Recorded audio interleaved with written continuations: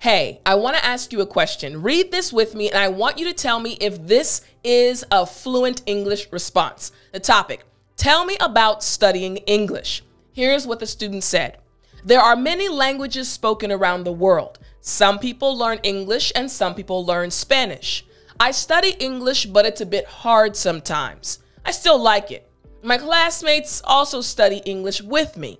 We use books in class and then the internet at home. Now, is this a fluent English response? Is this something a native English speaker would say? The answer is no. And today I want to explain to you why this is not a good response and how to finally give a fluent English response like a native English speaker. Are you ready? I'm teacher Tiffani. Let's jump right in. Now, I do want to remind you before we jump in to download the English with Tiffani app. If you haven't already downloaded it, what are you waiting for? The link is right in the description. Start studying now and join thousands of other students around the world. Click the link in the description right now and download the English with Tiffani app. Now, we looked at an example response and I told you that it was not a fluent English response. Let me show you a great response. So we have this individual speaking with her friend. She starts off English is the language that is studied by millions of people around the world. She continues Some people say that it is the number one language, and other people say that it is not that important. Uh, but in my opinion, it is important for everyone to learn English. I think that speaking English can help you get a better job, travel around the world or travel more around the world, and also experience other cultures. So I think everyone should learn to speak English. Now, this, my friend, is an amazing response, a fluent English response. So let me explain to you, let me break down what she said and help you do the exact same thing. So the first part of what she said was right here. Number one, you see it right here. English is a language that is studied by millions of people around the world. You see, the first thing she did was state the topic or the question. She stated what she was going to be talking about. You see, the first step is to state the topic that is being discussed. This will set the foundation and help your listener focus on what you are going to say. This is something that I've tried to teach all of my students. I've been a teacher for a long time and I've had thousands of students. And sometimes you think that fluency is just about speaking for a long period of time. Well, actually, fluency is all about you connecting with your listener. So you must first start by stating the topic or the question. Now, after you've done this and the listener understands, you're going to move on to part number two, which is exactly what she did. Remember, she said some people say that it's the number one language, and other people say that it is not that important. What she did was she stated other basic views very quickly. You see, step two, the second step is to state various views on the topic.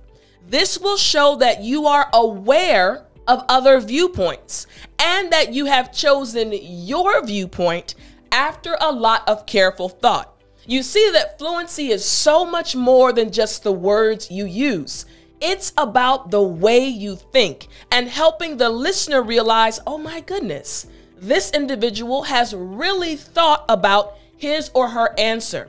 This individual is really able to organize his or her thoughts in English. So, when you let the other individual know, the person listening, that, hey, I am aware that there are other viewpoints on this topic, on this subject. Again, you're letting them know that what you're about to say in part three can be trusted and that you've thought well before you gave your answer. So, this is step two. Now, step three is where it gets very interesting. Step three is where she said right here, in my opinion, it is important for everyone to learn English.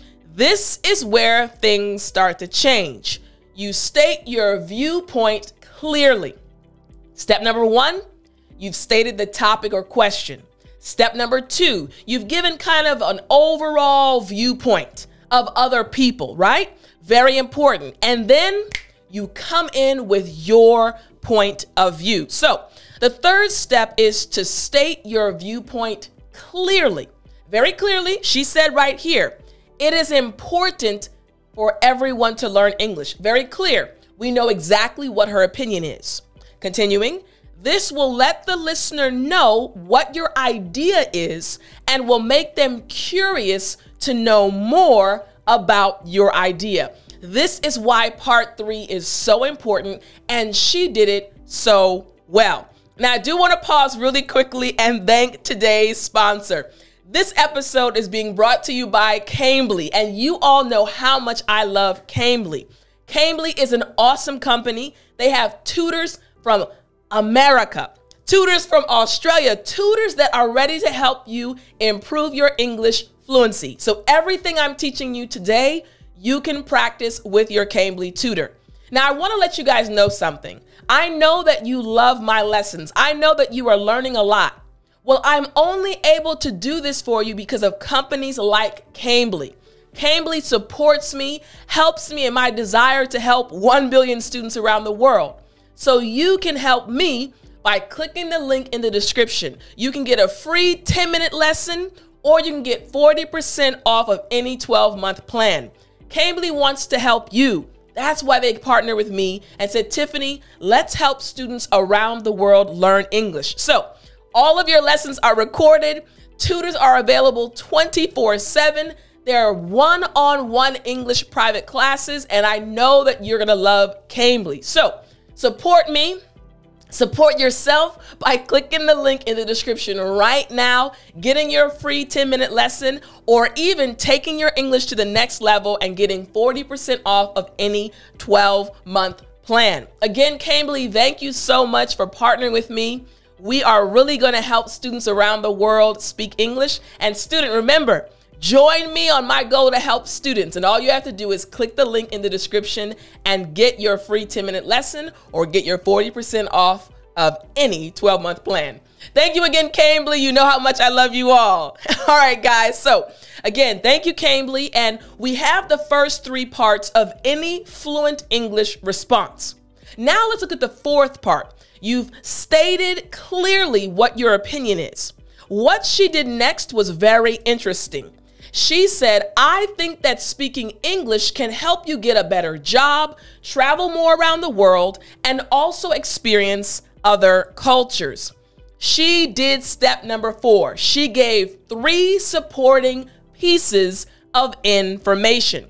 You see, the fourth step is to state your viewpoint clearly. This will let the listener know what your idea is and will make them curious to know more about your idea. That's exactly what she did. So, again, once she got to part three, she stated clearly what her idea was, and then she supported her idea in step four. This is exactly what you have to do in order to give a fluent English response. It's not about the number of words, it's about following these parts and making sure they are a part of every response you give in English. So, again, part four, give three supporting pieces of information. Now, after she did this in an amazing way, she moved on to part number five and she said, So, I think everyone should learn to speak English. Part number five restate the topic and your viewpoint. You see, the fifth step is to reset, restate, excuse me, the topic and your viewpoint. This will help the listener remember what you said. I can remember so many times when I was in class teaching my students in South Korea, and I was trying to help them understand the importance of restating the topic and their viewpoint at the end. They would say, Teacher, why? I've already stated my point. I said, remember, English fluency is all about the listener. How much information can they remember from what you said?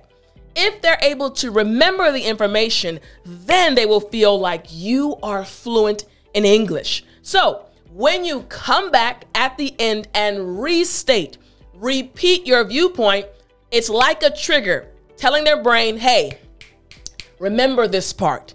And again, it makes you seem more like a fluent English speaker. So, once again, if we go back and look at this conversation between these two individuals, we'll see that she included all five parts in what she said. And that's why this response was amazing. And that's exactly why it was a fluent English response. Now, I hope you enjoyed this lesson. I hope you learned a lot, and I hope you remember all five parts when you go to respond to someone because that means you are fluent in English, including all five parts. All right, don't forget to support by clicking the link in the description to get your 10 minute free lesson with Cambly. And also remember to download the English with Tiffani app as well. I really hope you enjoyed the lesson. Thank you so much for joining, and I will see you next time. But as always, remember to speak English.